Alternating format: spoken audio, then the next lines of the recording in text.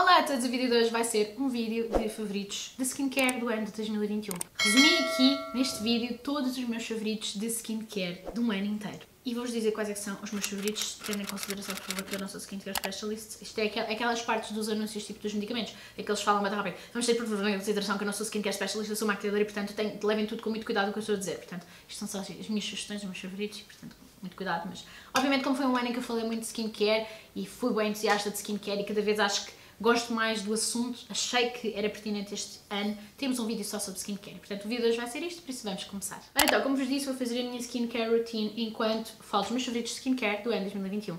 Este vídeo não é um vídeo de skincare routine. Para vídeo de skincare routine eu fiz um no final de setembro, se não estou em erro, vou por aqui, ainda está atualizado. Só mudei um ou outro produto, de resto ainda está atualizado. Eu vou simplesmente fazendo o meu skincare enquanto falo de produtos de skincare porque achei que fazia todo sentido. Portanto, tenho a pele lavada e antes de passar para o passo seguinte, vou-vos falar dos meus cleansers de... cleansers faciais favoritos do ano 2021. Então, temos a La Mousse da Chanel, como sempre. Este é um favorito de skincare há não sei quantos anos. É um dos meus cleansers favoritos de sempre. Sai em creme espesso e vocês misturam um bocadinho de água e cria uma mousse espessa muito, muito purificante. Ela não é purificante ao ponto de vos deixar com a pele ressequida se tiverem a pele seca, mas deixa-vos a pele purificada. Depois tem o Fresh Soy Cleanser e o COSRX Low pH. Por acaso o Low pH é o que eu estou a utilizar neste momento. São semelhantes. Eu diria que eles até são duplos um do outro. Até o cheiro é relativamente parecido.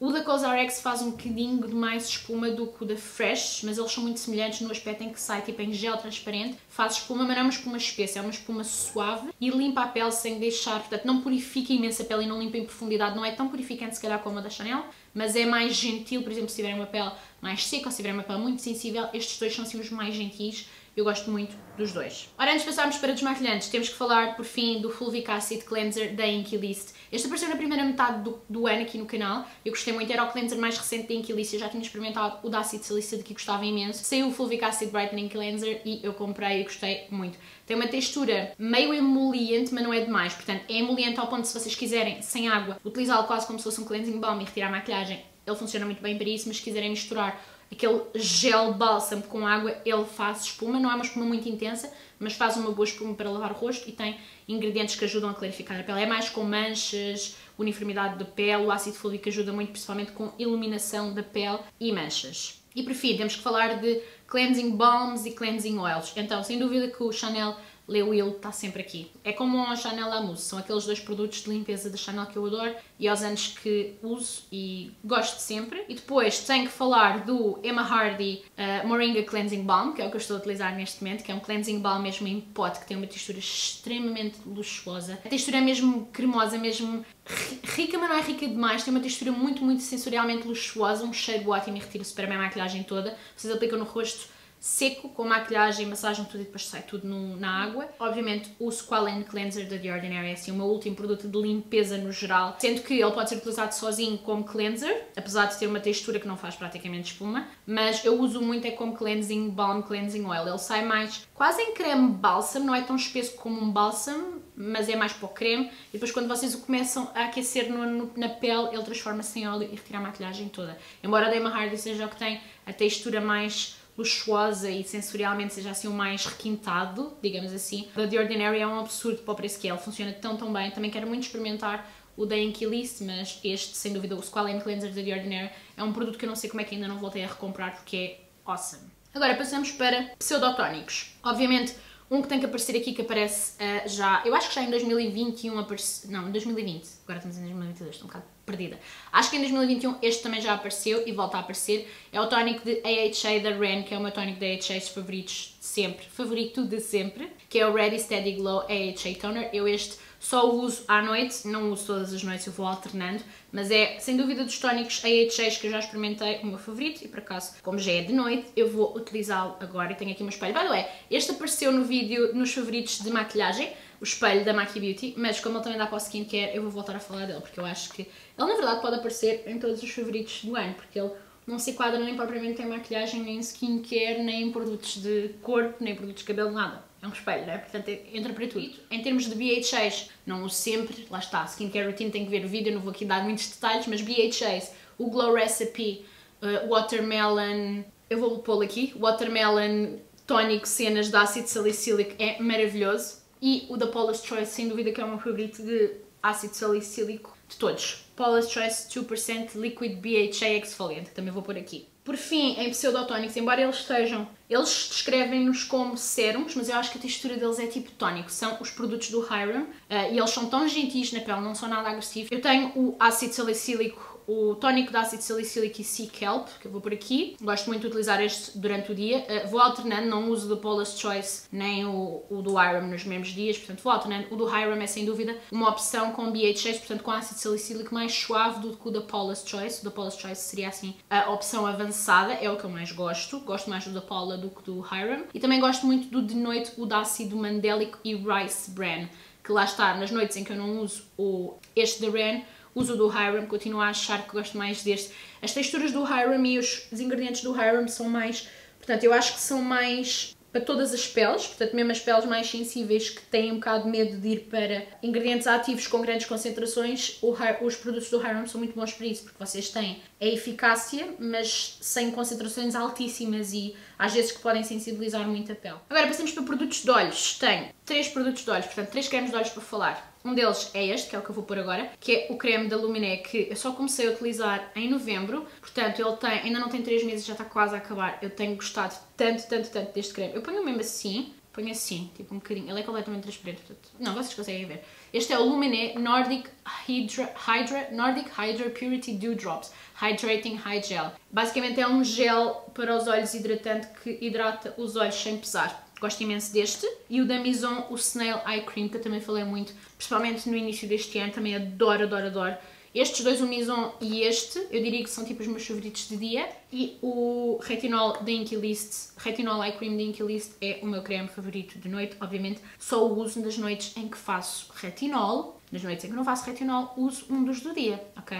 Portanto, estes são sem dúvida os meus cremes de olhos favoritos do ano. De seguida temos aqui a categoria de sérums. E então, nos sérums, eu tenho obviamente os da Inkyliss que eu falei bastante durante o ano, no caso o ácido hialurónico, que eu tenho sempre na minha coleção, a niacinamida e o Q10. Eu hoje vou utilizar uma niacinamida da Revolution, mas uh, isto não vai entrar. Eu estou a utilizá-la porque eu não, eu não gosto de desperdiçar coisas e eu não desgosto desta niacinamida, mas sem dúvida que tipo, a da Inquilis dá 10 a 0, portanto, eu não vou pôr este nos favoritos, embora vá utilizá-lo hoje, não faz muito sentido, mas vocês entendem. Estes são sem dúvida assim os básicos que eu adoro. Depois, obviamente, tenho que falar do sérum de ácido, uh, o sérum de retinol da Inquilis, o de noite. Eu adoro esse sérum e lá está, eu estou sempre a falar de retinol aqui no canal e sem dúvida que o meu produto de retinol favorito que eu alguma vez usei é o sérum de retinol da Inquilis. E por fim, sérums de vitamina C. Tenho dois favoritos deste ano. O Medicaid C Tetra. Eu diria que é um bom sérum de vitamina C para quem se quer iniciar na vitamina C. Tem uma textura que é facilmente absorvível pela pele e uh, pá, é, vitamina C é sempre bom. Depois tem, obviamente, o meu mais recente, a minha mais recente descoberta na categoria das vitaminas C, que é o da Paula's Choice, que é o C15 Booster. Eu acho que é C, C15 ou é 15 ou é C20. Eu acho que é 15 ou 20% de... acho que é 15. 15% de vitamina C, depois tem também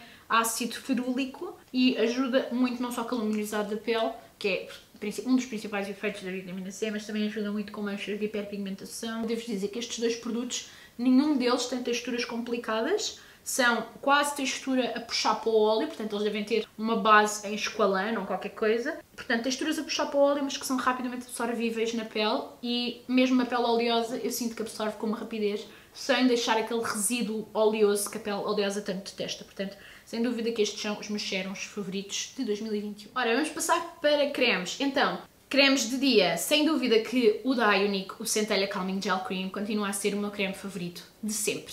É um creme que tem como ingredientes centelha asiática, niacinamida, agora não me lembro de mais nenhum, mas tem vários ingredientes. Tea tree, árvore do chá, é espetacular para peles mistas oleosas, é super calmante por causa da centelha asiática, ajuda também com o acne por causa do tea tree e com, uh, por causa da niacinamida, leve, sem resíduo nenhum, é maravilhoso principalmente para o verão. Quem tem peles mistas oleosas, Centelha Eye Cream é o melhor de sempre. Depois o First Aid Beauty Coconut Gel Cream, por acaso não sei se ela é Gel Cream que se chama, mas é o, eu acho que é Coconut Water Cream. Eu tive um pequenino, um deluxe, e adorei, sem dúvida que é da First Aid Beauty. Eu agora tenho este para a noite, mas eu acho que quando voltar a recomprar este, estes são da Look Fantástico, quando voltar a recomprar este, se calhar compro o creme de dia de Coconut da First Aid Beauty, porque eu gostei muito. E depois ainda tenho mais um que também falei aqui no canal durante o ano 2021, que foi da SBR. Vou deixar os links todos em baixo na descrição E lá está, muitos destes produtos, quando vocês virem este vídeo, vão estar em saldos, porque eu vou lançar estes vídeos na primeira quinzena de janeiro. Portanto, se tinham planos de comprar algum destes produtos ou queriam ver recomendações de saldos, etc.,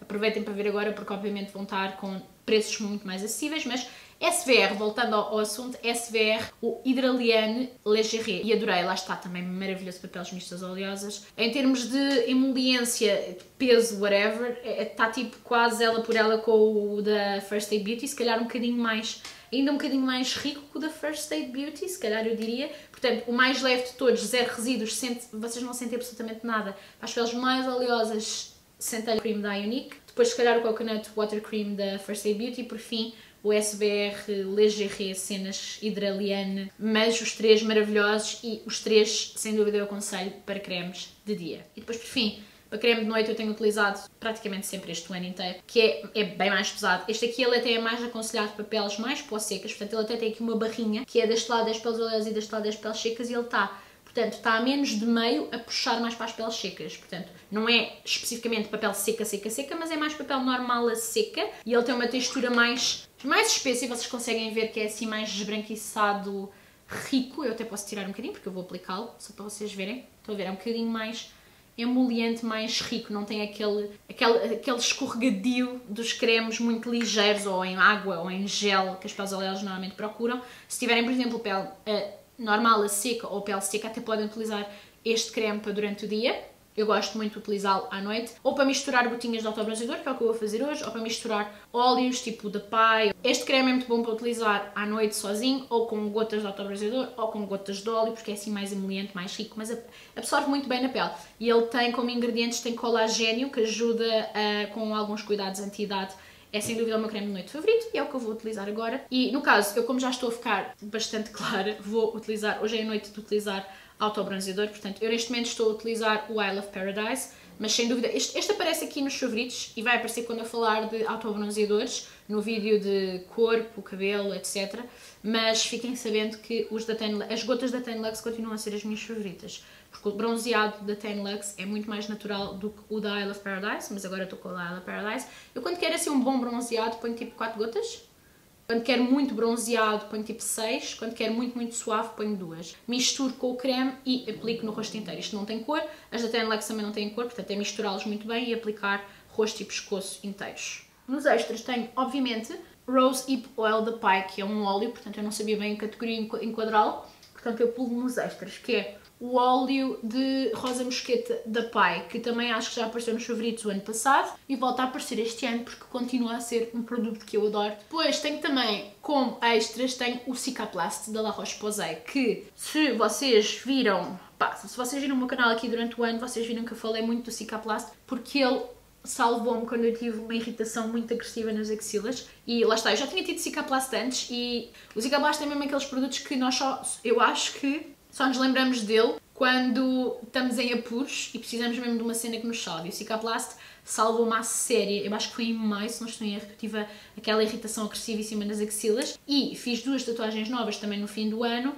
e Cicaplast é muito bom também para tatuagens, portanto Cicaplast tinha que ter uma menção honrosa porque salvou-me. E por fim tenho um extra também que é o produto, o sérum para sobrancelhas pré-vaz da Elizabeth Arden que o ano passado também apareceu aqui no canal e este ano volta a aparecer. Eu continuo a utilizar. Embora eu acho que as minhas sobrancelhas já estão muito melhor, eu continuo a utilizá-lo porque eu quero mesmo tipo, ter umas sobrancelhas daquelas à séria. E eu acho que ainda não cheguei a esse ponto, para minha grande pena, mas eu hei de lá chegar. Portanto, este sérum é maravilhoso. Ele também supostamente é para pestanas, também ajuda a que as pestanas cresçam mais rápido, mas eu acho que ele não faz praticamente nada às pestanas. Eu não noto nada, mas as sobrancelhas eu noto bastante. Ele é caro, mas dura e ajuda-me muito a que nasçam pelos onde nunca antes nasceram. Ora, SPF, proteção solar, very, very important. Eu tenho apenas 4 para falar. Cosrx, o Aloe Soothing Sun Cream, é cruelty free, barato, barato. Não é tipo abaixo dos 10 euros, infelizmente, mas em termos de qualidade para a textura que é, é bastante em conta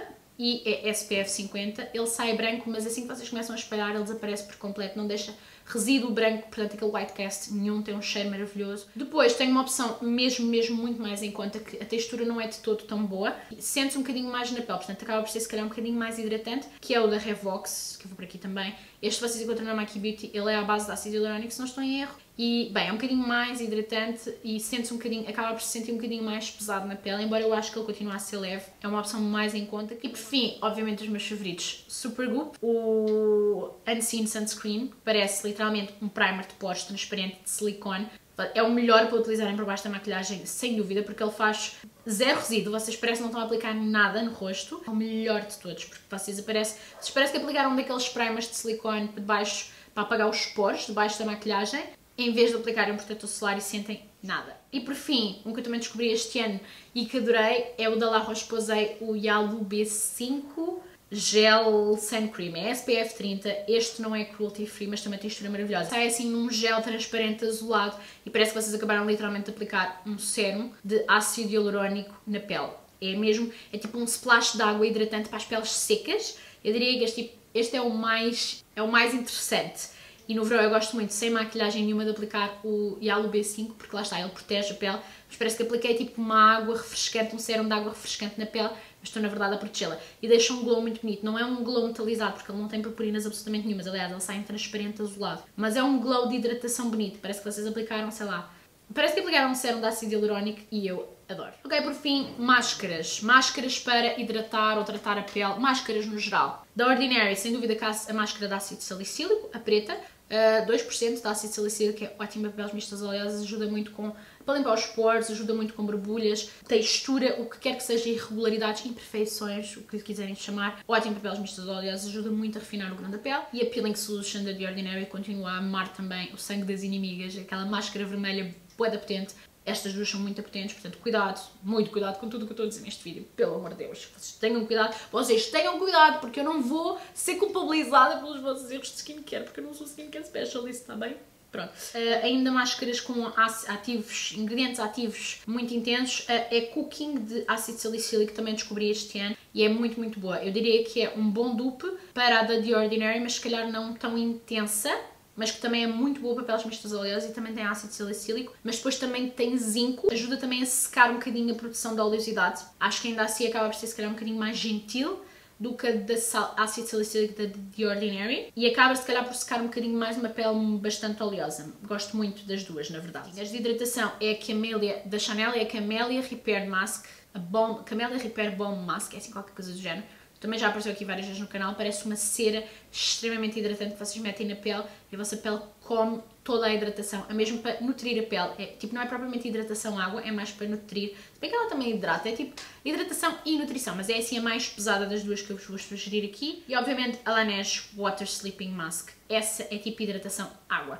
vocês dormem com aquilo e acordam, parece que a vossa pele teve a beber água a noite inteira. É incrível, a pele fica refrescada, luminosa, repelpada, preenchida, é amazing. Essa é de dormir. Ai, também tem outra, eu não pus aqui na minha lista, mas também tem outra que gosto muito, que é The Youth to the People, uh, Dream, acho que é Dream Mask, é uma amarela. Aliás, de todas as minhas máscaras de noite de dormir, até a que está mais tipo a chegar ao fim, também é ótima, também dá bastante hidratação. Ok, por fim, as minhas duas favoritas de lifting, portanto para firmeza, é as mesmas que apareceram o ano passado e se calhar há dois anos, que é a da Kills, a de hibiscos, que é para dormir, são as duas para dormir. São as, máscaras, são as únicas máscaras que eu vejo mesmo alguma diferença em relação à firmeza, tipo lifting, a pele estar mesmo tipo quase repuxada, é sem dúvida a da Kills de hibiscos e a da Chanel, a Le Lift Máscara de Noite Recuperadora. Eu uso as duas, portanto, à noite, de vez em quando, não uso toda a hora, mas de vez em quando uso, e são assim as minhas duas favoritas. A da Chanel é mais uma textura em gel e a da Kills é mais uma textura cera, mas as duas fazem o mesmo género de efeito quando vocês acordam, a pele está mesmo puxadíssima e pá, está mesmo firme e maravilhosa. E pronto, este vídeo, espero que tenham gostado. Eu tentei resumir, eu tive imensos favoritos de skincare durante o ano, mas eu tentei resumir ao máximo, de certeza que certeza absoluta que eu me esqueci aqui de algum produto. Se sentirem que está aqui a faltar qualquer coisa que eu falei durante o ano e agora não apareceu aqui nos favoritos, pá, digam-me nos comentários e eu digo-vos obviamente se continua a ser um favorito ou não do ano uh, e eu posso simplesmente ter esquecido. Na verdade tentei ser muito tentei ser muito concisa neste vídeo para não dispersar muito. Por favor, tenham em consideração que eu não, eu não sou skincare specialist, eu sou uma pessoa entusiasta de skincare bastante entusiasta de skincare, que já aprendi umas coisinhas, mas tipo, a minha, a minha knowledge de skincare é um grão, uma, uma agulha num palheiro. Portanto, levem tudo isto com uh, with a grain of salt, eu não sei se isso se usa no português, é o Tenham, t- vão com cuidado com tudo o que eu estou aqui a dizer, tirem as minhas sugestões, mas pesquisem muito bem antes de comprarem ou usarem o que é que seja, e principalmente a misturarem ingredientes ativos, tenham cuidado e atenção e filtrem daquilo que vocês acharem que é pertinente e, obviamente, se tiverem informações pertinentes também para me dizerem, tipo, do género, correções, quero obviamente saber os favoritos, os vossos favoritos, mas se tiverem correções a fazer em relação a skincare, etc, ou sugestões, tudo em baixo nos comentários que eu respondo sempre e agradeço sempre, sempre, sempre, sempre, sempre, sempre, sempre as vossas informações, os vossos favoritos e as vossas sugestões. E espero muito que tenham gostado do vídeo. Não se esqueçam de se inscrever e partilhar o canal e até ao próximo vídeo.